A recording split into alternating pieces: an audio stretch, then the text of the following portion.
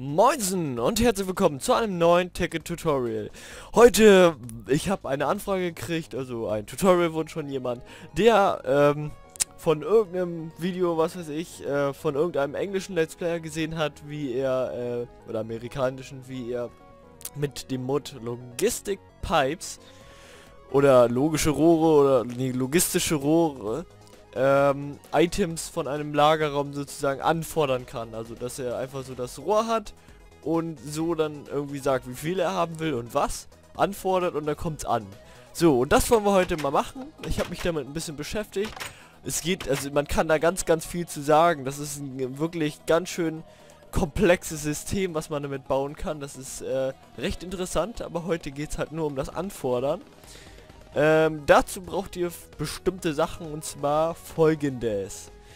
Ihr braucht einmal das logistische Basisrohr, das logistische Bestellrohr, das logistische Versorgungsrohr, ein Logistic Power Junction, eine Truhe, ich habe in dem Fall eine Crystal Chest benutzt, dann braucht ihr irgendwelche Minecraft Jewel von was auch immer, ich habe hier in dem Fall mal die Magmatic Engine und ein bisschen Lavazellen, Dazu braucht ihr einen Schraubenschlüssel oder eine Wrench von Buildcraft. Also die hier aus Eisenzahnrad, also Steinzahnrad und Eisenbarren.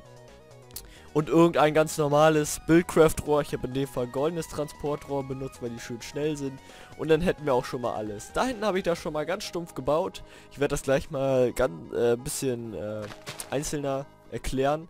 Jedenfalls, wenn ich jetzt hier mit der mit dem Schraubenschlüssel Rechtsklick drauf mache, dann haben wir jetzt hier ein äh, Fenster, wo ich jetzt sagen kann, was ich haben möchte. Zum Beispiel, ich möchte, ich muss mal das dazu machen, so ich möchte die Mixed Metal Ingots und davon möchte ich, sagen wir mal, drei.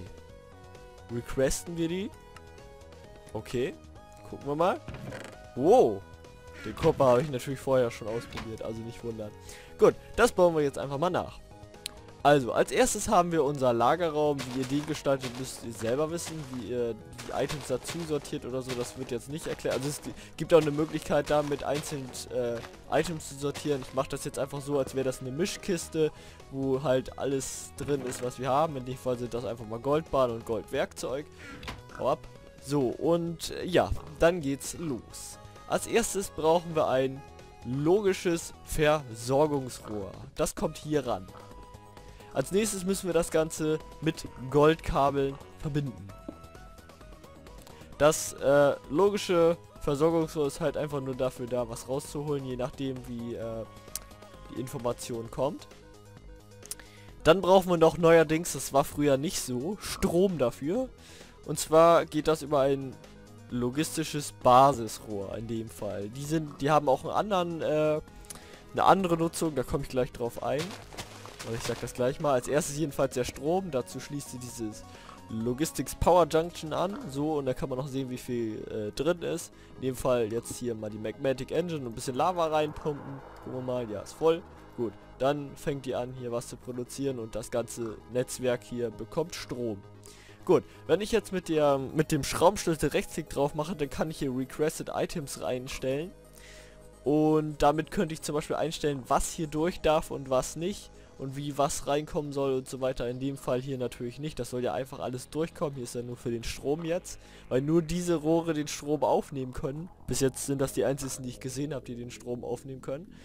Äh, weil sich ja hier automatisch verbindet das Rohr. Hier nicht, hier auch, äh, hier auch nicht. Äh, also macht man das am besten mit dem hier. Gut, das Ganze machen wir dann hier weiter. Führen wir mal schön lange Item-Dingen lang. So, dann stellen wir uns hier unsere Tour hin, wo wir die Requested Items hinhaben wollen.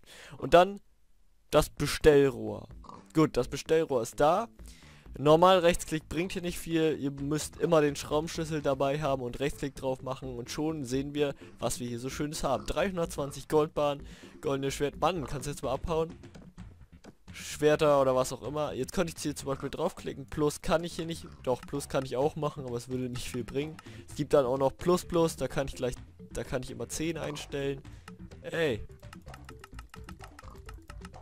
Oder Plus Plus Plus, da haben wir gleich einen ganzen Stack. Also recht interess äh, recht nützlich. Der Rest hier kann ich gerade mal nicht sagen.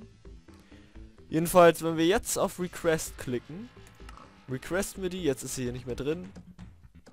Log weiß ich nicht, aber ihr klickt dann einfach OK. Und schon habt ihr eine goldene Spitzhacke in eurer Requested Truhe. So könnt ihr, das könnt ihr dann mit einem ganzen System machen. Ich weiß nicht, ob das direkt so geht. Das können wir jetzt mal ausprobieren hier. Wenn ich jetzt hier zum Beispiel ein Versorgungsrohr anschließe und hier nochmal eine Truhe und dann sagen wir, ähm, ja, was könnte man sich da Schönes holen. Zum Beispiel hier haben wir Schienen drin.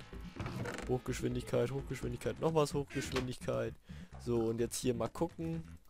Dann sieht man, ich kann mir das rausholen. Das heißt, ich könnte da ganz, ganz viele Touren anschließen und mir das so anfordern. Hier zum Beispiel, ich möchte drei, vier von diesen Hochgeschwindigkeitsübergangsschienen. Request, okay.